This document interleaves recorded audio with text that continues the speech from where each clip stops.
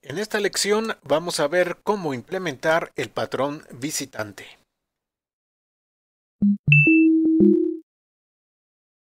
¿Qué tal amigos de YouTube? Bienvenidos a esta lección y bueno pues vamos a llevar a cabo la implementación del patrón visitante.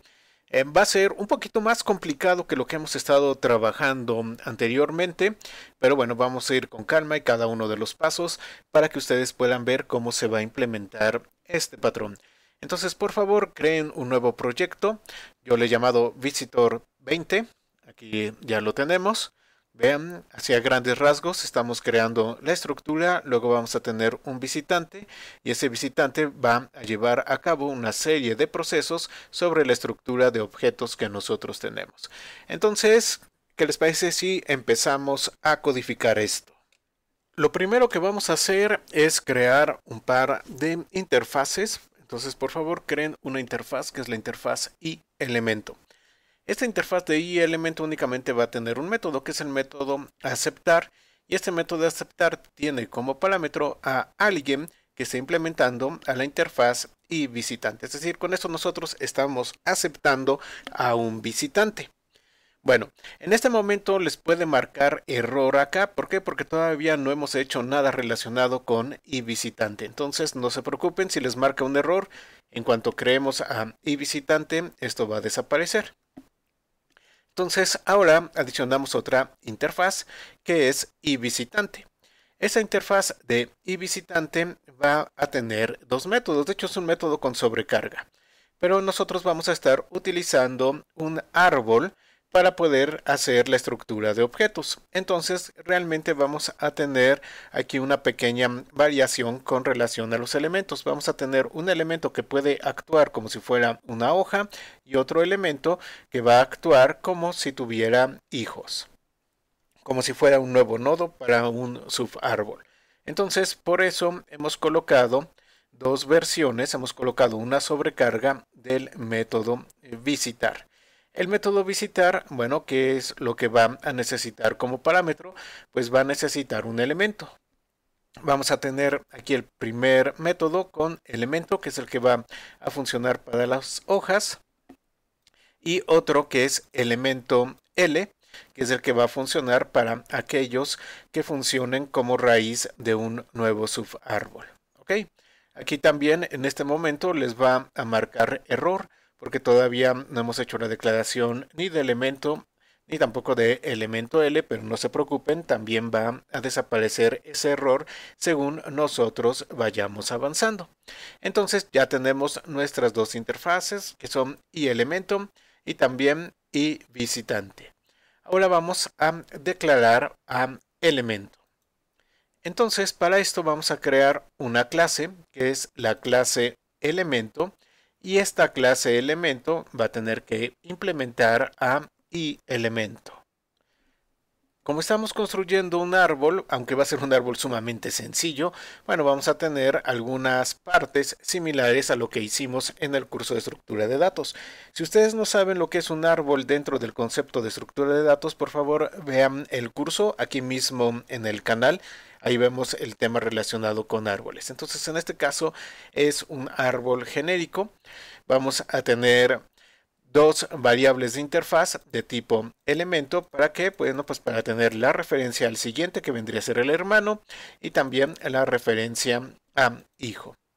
Luego, dentro de los datos que va a tener como tal el elemento, aunque ustedes ya podrían colocar los datos que necesitaran para su aplicación en particular, vamos a tener un doble que es costo y vamos a tener un string que es nombre, cada uno de ellos con su propiedad correspondiente. De hecho, nuestra aplicación, bueno, pues va a tener un árbol que va a ser un árbol de un botiquín donde tenemos diferentes elementos del, del, botiquín como instrumental, como medicinas y ese tipo de cosas. Entonces, bueno, los elementos obviamente van a tener un nombre para poderlos identificar y van a tener un costo.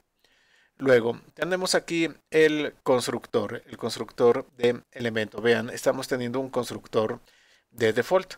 En este constructor de default estamos colocando en color rojo un mensaje que dice elemento creado. Ustedes ya podrían colocar cualquier código propio para su aplicación. Luego tenemos una sobrecarga de constructor en la cual estamos pasando la información que es el costo, el nombre y quién va a ser el elemento siguiente, es decir, quién es el hermano en este árbol genérico que nosotros tenemos. Bueno, colocamos el color verde para la escritura en la consola y aquí hacemos un write que nos va a decir elemento creado con siguiente, tal y tal.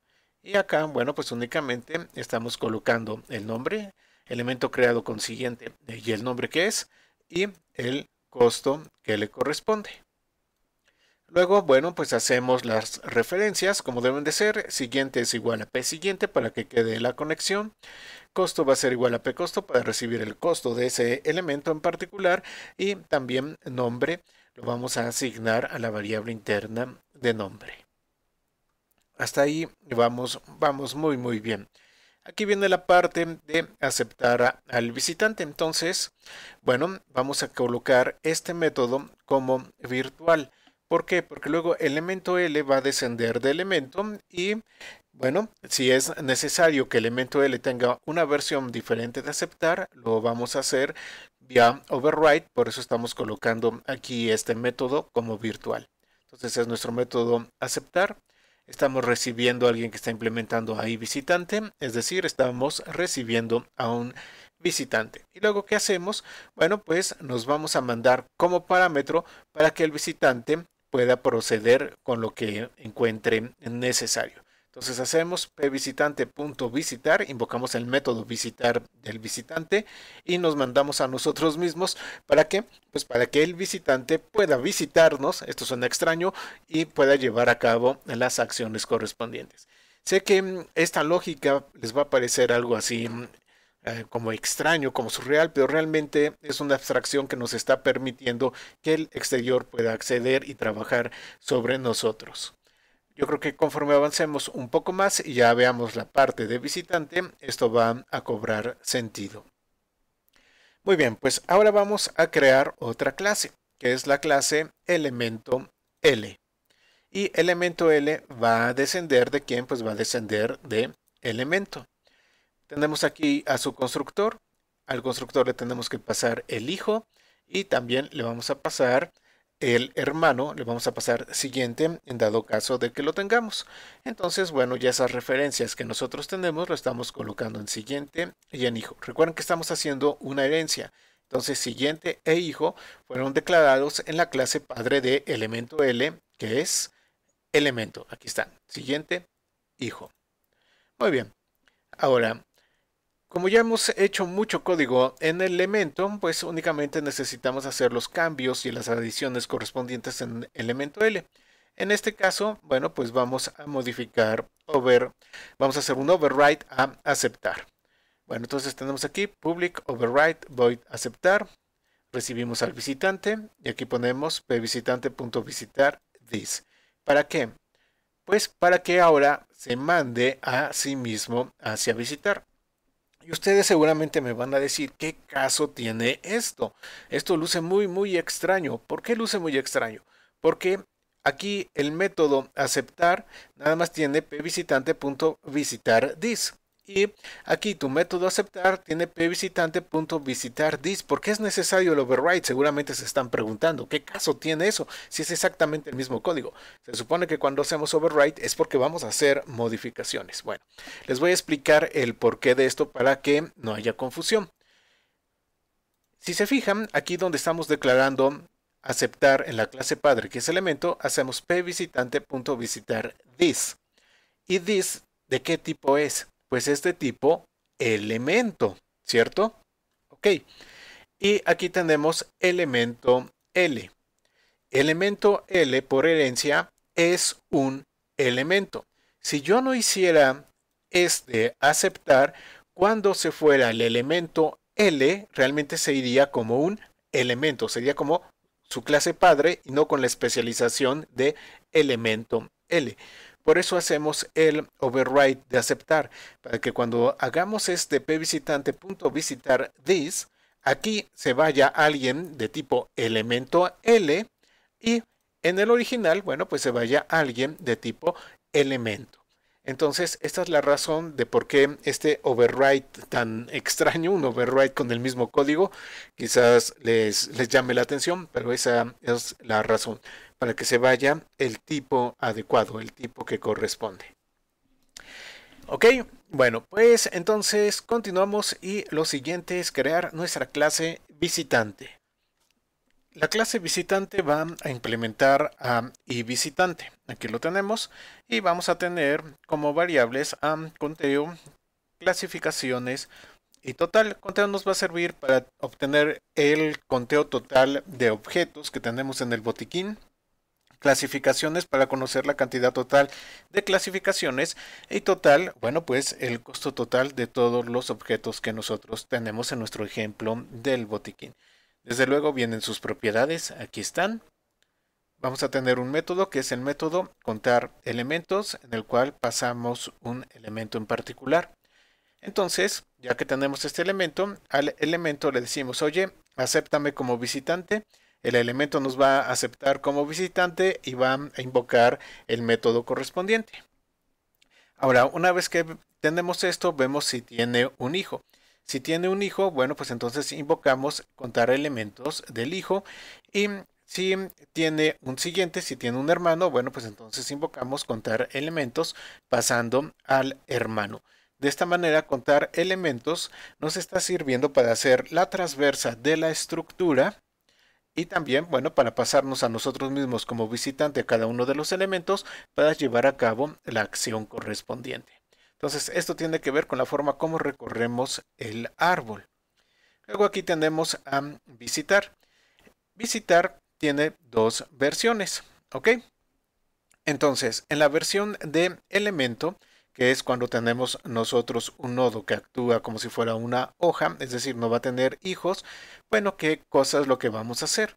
pues vamos a incrementar el conteo de elementos y también vamos a incrementar nuestro total. Hacemos la sumatoria correspondiente para ir acumulando en total. Vean que aquí estamos recibiendo a alguien de tipo elemento. Y esta es la segunda versión, la versión para elemento L. Entonces, para elemento L, pues obviamente no vamos a incrementar el conteo de elementos ni el total, simplemente vamos a incrementar la cantidad de clasificaciones que tenemos colocamos nuestro texto en color blanco y llevamos a cabo la indicación de no conteo. Aquí nosotros lo estamos haciendo por medio de sobrecarga de métodos porque es muy sencillo, es muy fácil de entender, pero bueno, también si lo desean podrían haber utilizado y modificado el código para hacer uso de reflexión y de manera dinámica encontrar cuál es el tipo que eh, nosotros recibimos, ya sea un elemento o un elemento L. Pero bueno, vamos a dejarlo así porque es más fácil de entender. Y bueno, pues ya tenemos todo lo necesario. Ahora vamos a Program. ¿Para qué? Pues para construir la estructura de objeto y ya llevar a cabo la ejecución de todo esto. En la parte de main vamos a crear tres variables. Total costo para saber el costo total de objetos, saber el conteo y total clasificaciones, pues para conocer cuántas clasificaciones fueron. Luego vamos a crear la estructura de objetos. Aquí está. Parece un poco complicada, pero bueno, estamos creando un árbol. Adicionamos elementos.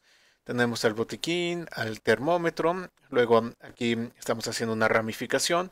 Tenemos antibiótico, antiácido, otra ramificación, aspirina, antiinflamatorio. Este null es para indicar de que no tiene un siguiente, no tiene un hermano, igual que acá.